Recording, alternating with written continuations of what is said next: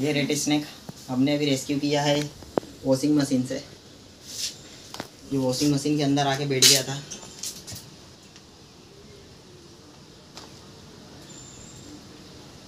लाओ एक डब्बा